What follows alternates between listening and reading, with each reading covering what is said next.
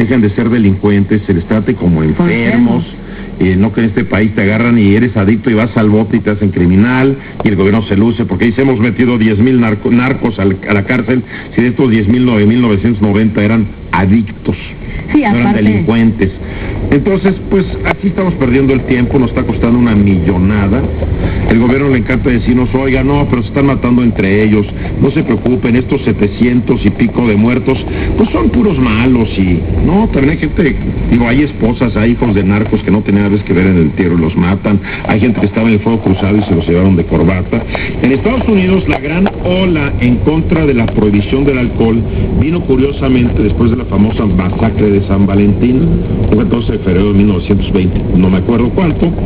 Eh, en Chicago mataron, creo que fueron nomás 14 los que mataron ahí, 7, los pusieron contra una pared.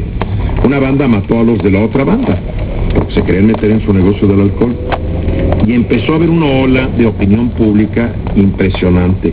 Es lo que en México todavía no agarramos conciencia, es lo que los mexicanos somos así medio... Ahí, la llevamos, ¿no? Y no se metan conmigo, no pasa nada, a mí no me, no me agarran el fuego cruzado tampoco, ahí la llevo. En México tal vez hay una necesidad de que haya una conciencia de que son demasiados muertos lo que está lo que está produciendo. Imagínate hoy vivir en Chihuahua y decir, oye, 228 muertos, 224 muertos en lo que va del año. son tres muertos por día.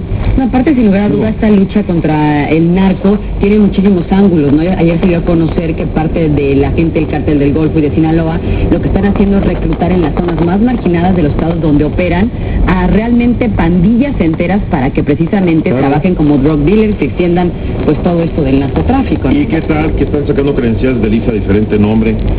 Hoy la Universal publica una, una güera ahí, oxigenada, 1, 2, 3, 4, 5, bueno, la quinta ya no está oxigenada, cinco, cinco diferentes identidades de una sola persona. De una sola persona. Bárbara Anderson, Samantha Paredes, Gaitán, Melanie Díaz Rivera Bravo, Damara Castro Virreyes, París, Lara Fuentedilla. Cinco credenciales de IFE. Increíble, ¿eh? Después hay otro, Sergio Elizondo, Isaac Berger Solórzano, José Antonio Fernández, David Legorreta, Víctor Manjarres. Cinco identidades. Cinco cuentas de banco. Regresamos.